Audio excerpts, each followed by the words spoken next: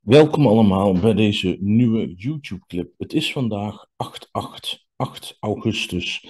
En dat betekent dat het Leeuwenpoortdag is. Um, Leeuwenpoortdag uh, betekent dat de Leeuwenpoort in het universum extra open is. En um, ja, dat um, de leeuw uh, en katachtige wezens uh, ons extra helpen en interdimensionaal extra uh, aanwezig zijn. Um, ik heb uh, ooit twee katachtige, poesachtige buitenaardse mogen ontmoeten en in mijn huiskamer zien staan. Met een, ja, ze waren een heel stuk langer als mensen, breed gebouwd, um, sterke gespierde armen en benen. En een ongelooflijk donzige, fluffy uh, vacht. En een ongelooflijke liefde. En ik zag uh, dat het uh, ruimtepak wat ze eigenlijk aan hadden, dat dat heel strak zat. Maar ik zag eigenlijk ja, een soort van rits of knoop. Ik weet niet meer precies wat het was. En daar, poef, kwam ineens ja, een soort plukje vacht uit de voorschijn van de borst van, uh, van de poes. Nou, dat was zo lief en zo mooi. Um, het zijn hele mooie wezens. Hier op de achtergrond ziet u een aantal uh, illustraties van uh, dit soort wezens. Um, ze leven op een planeet nabij de ster Sirius. De ster Sirius is een um, zon, net als onze zon, en heeft een, uh, een planeet, planeten eromheen. En op een van die planeten leven poesachtige, intelligente, rechtoplopende wezens uh, met een nog groter brein als ons, die hoger geëvolueerd zijn in hun spirituele, uh, geestelijke ontwikkeling. Um, vanuit Sirius komt er op het moment heel veel hulp naar de aarde. 8-8 geeft een hele bijzondere trilling. De 8 is ook wel uh, het lemniscaat eigenlijk, hè, dus het eeuwigheidssymbool. En uh, ja, dat, dat is een heel mooi symbool, maar 8-8 is de leeuwenpoorttrilling. Wat er dan gebeurt, is dat uh, deze eeuwenoude katachtige uh, wezens, maar ook leeuwachtige wezens, die ook wel uit het uh, sterrenbeeld Lier, hè, als je het naar een Nederlands vertaalt zeggen we maar Lier, um, daar is ook een planeet, uh, geloof ik, daar ergens om een ster heen die daar leeuwachtige heeft. Hè, wij zijn gladhuidachtige wezens, menselijke wezens, maar waar dus een kruising is geweest uh, ja, tussen katachtige, leeuwachtige, panterachtige, puma-achtige wezens, die dus rechtop lopen, maar ook uh, technologieën kunnen ontwikkelen en toekomstplannen kunnen maken. Deze wezens hebben ons uh, geholpen, met name de wezens van de planeet om de Sirius heen, de katachtige, poesachtige, maar ook de leeuwachtige uh, wezens hebben ons geholpen met de bouw van de piramides op aarde. Dat waren een van de wezens die daar ook bij geholpen hebben. Uh, ze zijn heel sterk, ze zijn uh, very protectful, ze beschermen ons, ze zijn heel lief en ze hebben een ongelooflijk hoog kosmisch babybewustzijn van liefde. En um, ik rook net ook uh, in mijn huis een soort baby shampoo. Nou, dat klinkt heel gek, maar uh, mijn zus die had een kat, Tommy, en dat is mijn beste vriend en ook haar beste vriend. En Tommy is uh, acht jaar oud mogen worden, helaas. Ook acht, het is vandaag acht, acht. Maar um, die, um, hij werd bijna negen, maar hij is acht jaar oud mogen worden. En toen is hij overleden. Uh, dat is nog niet zo heel lang geleden gebeurd. En daar hebben we ontzettend veel verdriet van gehad. En Tommy is uh, nu in het hiernamaals, maar is een hele hoge ziel. Eigenlijk een beetje ja, zo'n zo'n soort poes die je hier achter ziet, een soort puma. Maar die uh, heel hoog in bewustzijn is en een interdimensionale en intergalactische gids is die. En hij um, ja, helpt heel veel uh, andere beestjes ook. Um, ik krijg altijd poesen bij me op bezoek. Eh, ze zoeken me altijd op. eh, ze lopen naar binnen, ze springen op me. En eh, hij begeleidt die poesjes dan ook weer. Hij komt naar ze toe en zegt hallo. Maar die baby shampoo lucht, die had Tommy altijd op zijn vacht. Terwijl die nooit gewassen werd met baby shampoo. Maar dat kwam gewoon uit zijn vacht. En zo ruiken die buitenaardse poesachtige ook. Die hebben diezelfde baby shampoo lucht een beetje zo bij zich. Ik heb dat nog nooit bij andere katten geroken, maar bij Tommy rook ik dat altijd. Dat was ook echt een hele magische kat, een hele oude geest, een, een Egypt eh, cat was dat. Is dat, want hij is heel sterk aanwezig.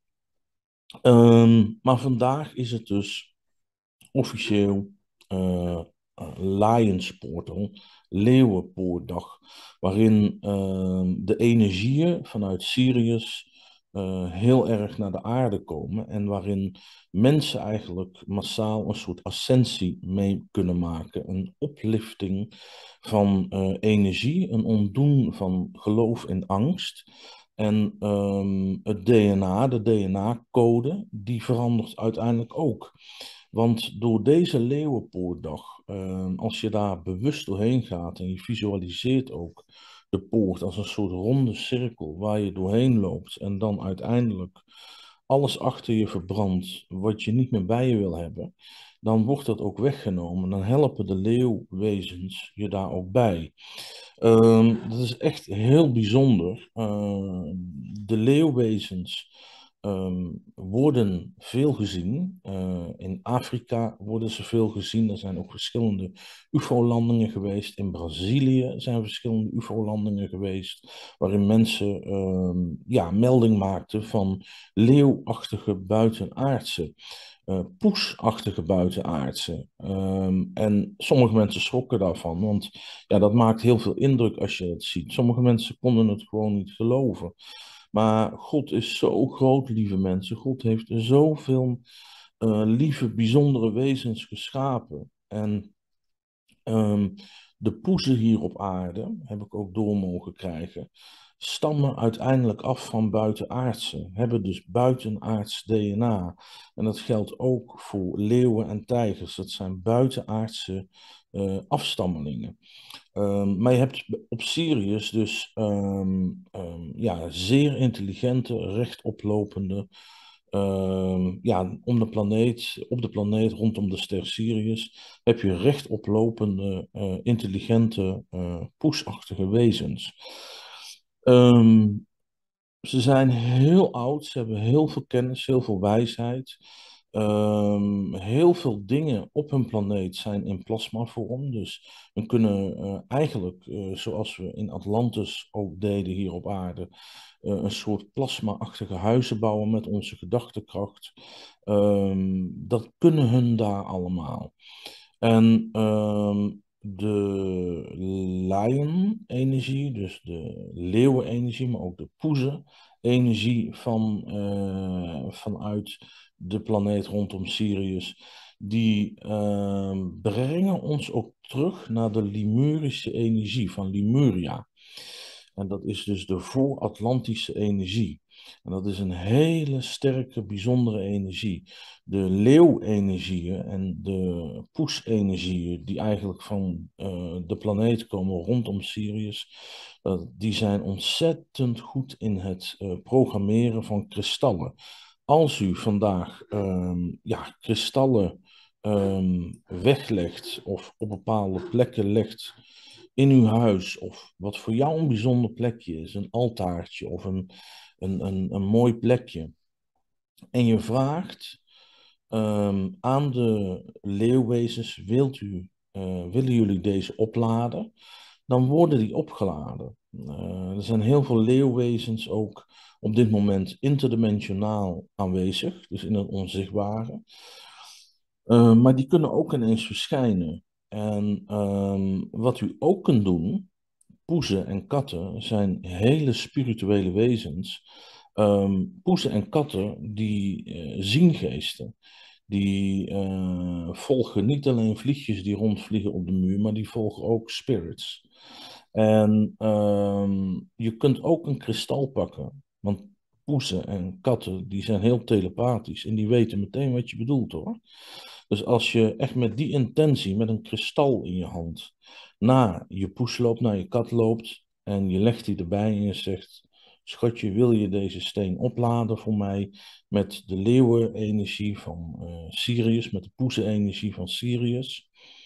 Dan gaat die kat die gaat dat doen. En die gaat erop zitten snibbelen. Die gaat daar zijn energie op zetten.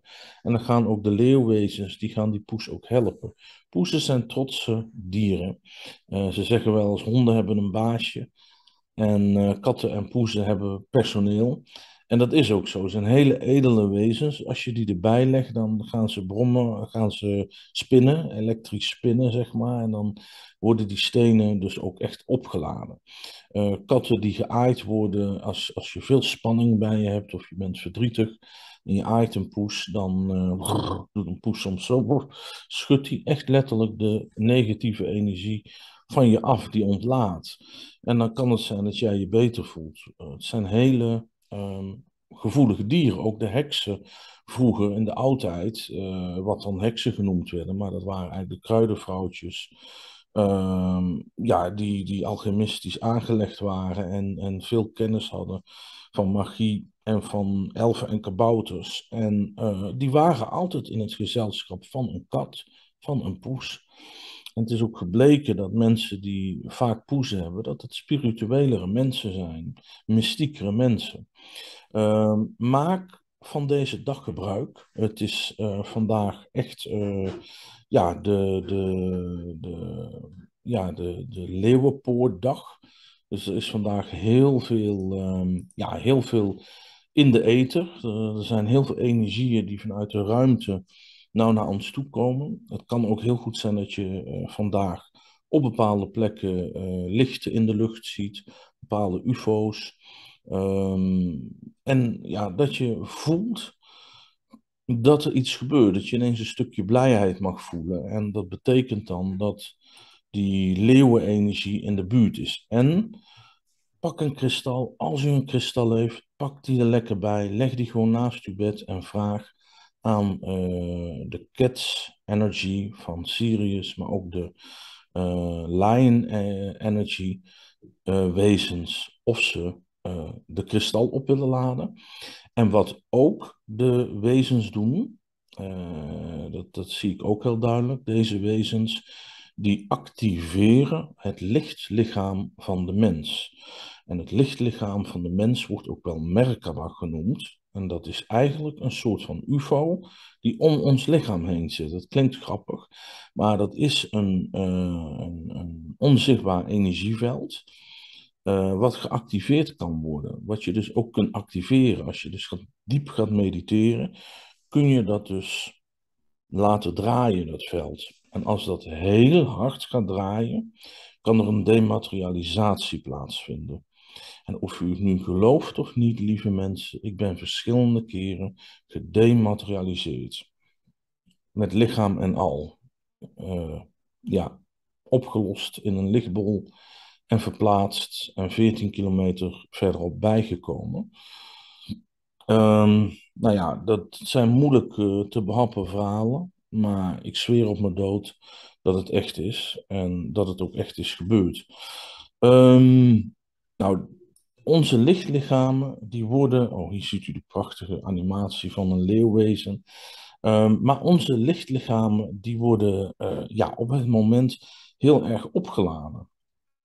Um, door de uh, katachtige wezens van de planeet bij uh, de ster Sirius, maar ook de oversoul van de ster Sirius, dus het licht, het etherische licht van de ster Sirius, um, uh, bestraalt ons ook. Zendt naar ons op onze gradatie, op ons collectieve oversoul, een bepaald soort energie. Onze zon heeft een wat gewonere energie. Uh, maar Sirius heeft vooral een spirituele energie. En um, God kan zich heel makkelijk uitdrukken, de alkracht, uh, in Sirius. En de wezens die uh, zijn geboren op de planeten rondom Sirius, ja, die zijn ook actief om ons te helpen. En die zijn heel dichtbij op het moment. Ze kunnen interdimensionaal reizen, maar ze willen ons leren wat ze vanuit Sirius nou vooral ons meegeven. Uh, 8-8, dus uh, 8 augustus uh, 2022, is uh, dat we kunnen leren om ons lichtlichaam te activeren.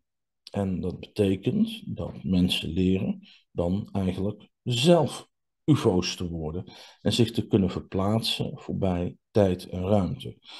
Uh, dit is iets wat niet in één keer zal lukken, natuurlijk. Dit is iets dat heeft tijd nodig. Maar het is wel iets wat zij op hun planeet al heel lang kunnen. En wat we, ja, wij ook uiteindelijk mogen uh, gaan ervaren. En ook ja, uh, meer eigen weten gaan krijgen. Want wat heel belangrijk is, lieve mensen, is dat de waarheid, alleen nog de waarheid telt. Wij zitten op dit moment met z'n allen hier op aarde in een enorme transformatie, wat enorm gestuurd wordt, ook vanuit Sirius, om uh, los te komen uit de gevangenis die maatschappij heet. Overal gaan beerputten open en iconen vallen om en vallen door de mand. En er worden dingen duidelijk. Leiders die hun leiderschap misbruiken, vallen van een sokkel. En mensen krijgen hun eigen weten. Er komt intuïtie voor in de plaats, een onmiddellijk weten. Mensen worden stiller, rustiger. En in die stilte horen ze de stem van God beter. Horen ze de stem van de alkracht. En krijgen ze hun eigen weten. En ontstaat er een nieuwe maatschappij.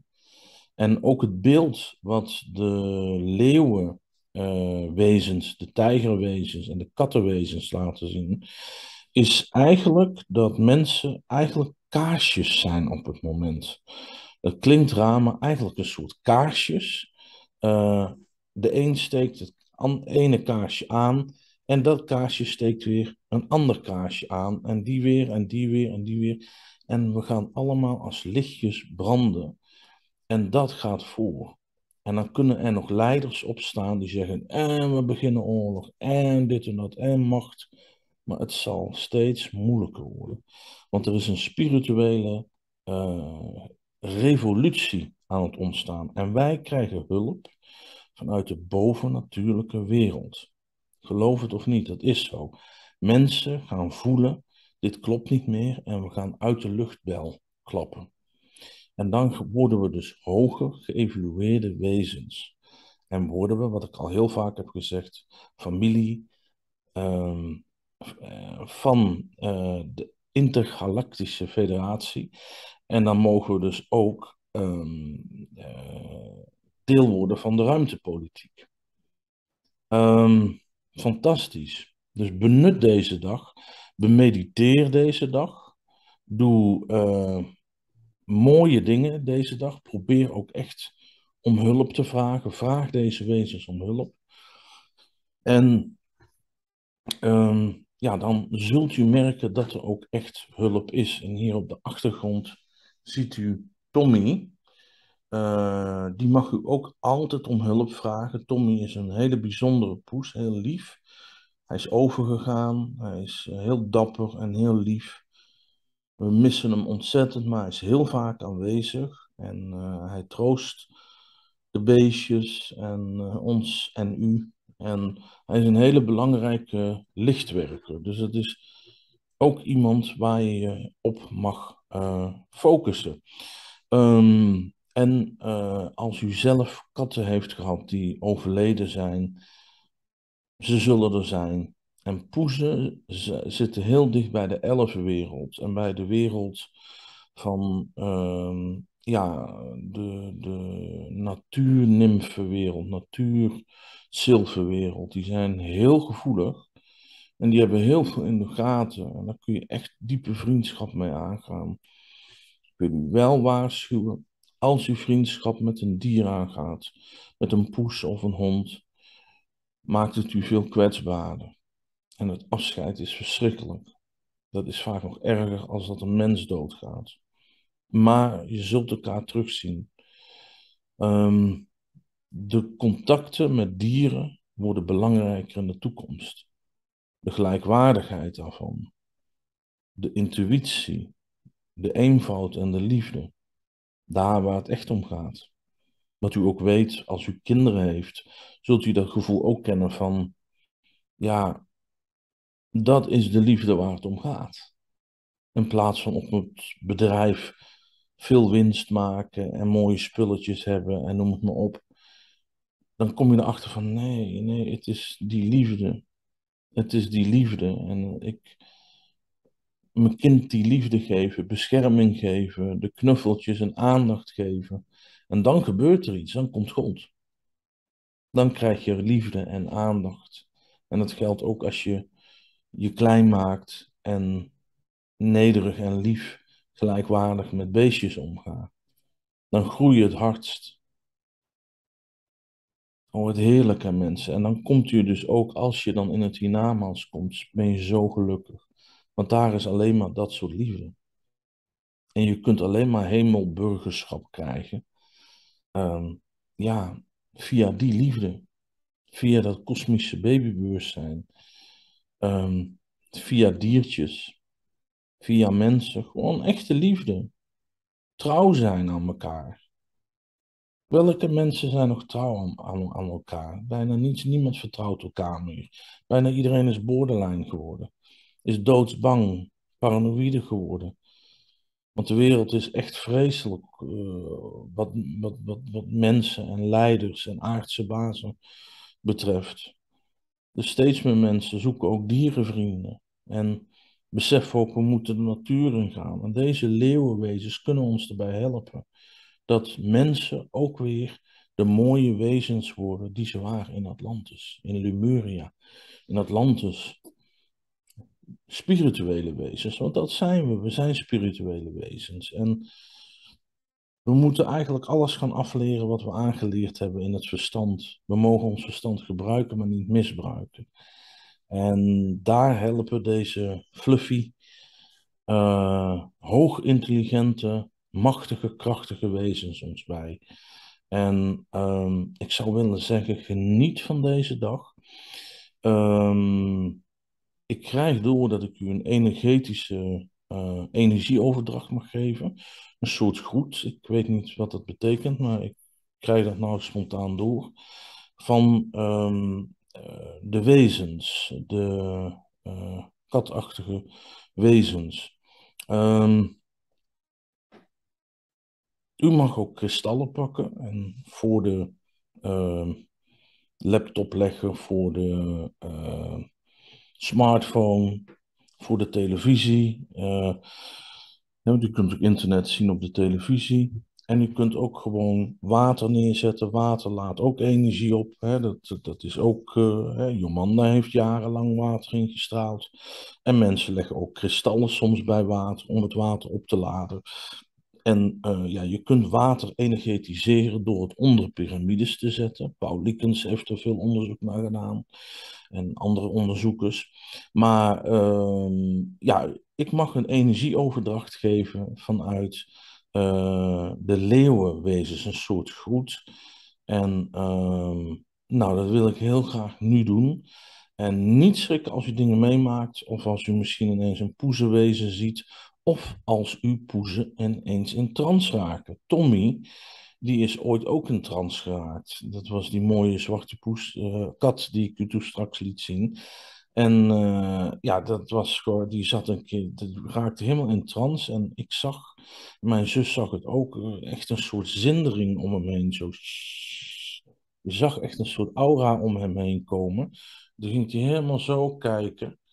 En we konden zo voor hem doen en zo. En hij, hij bleef alsof hij bevroren was zitten. En toen voelde ik echt iets Egyptisch en ook echt iets heel ancients, iets heel ouds, wat deze wezens ook bij zich hebben. En um, ja, dat was iets heel aparts, dat was heel mooi.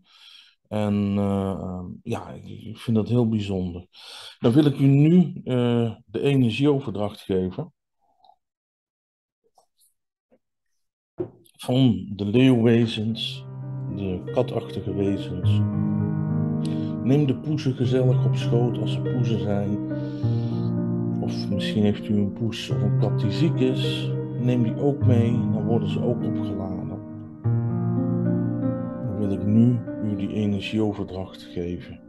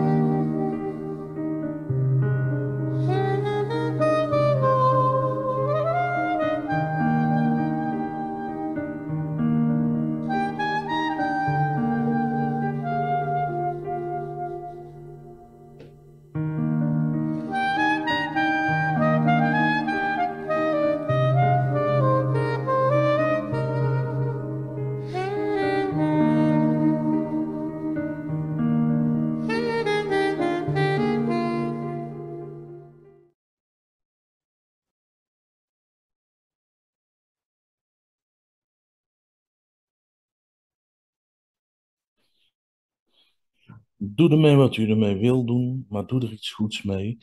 En uh, u weet het, als u zich afstemt op de katten, poezen, alienwezens, leeuwenwezens, vandaag op deze leeuwenpoordag, dan bent u een kaarsje die het licht verder aansteekt, de andere kaarsjes aansteekt en elkaar dus aansteekt. Dus eigenlijk een positieve lichtverspreiding veroorzaakt.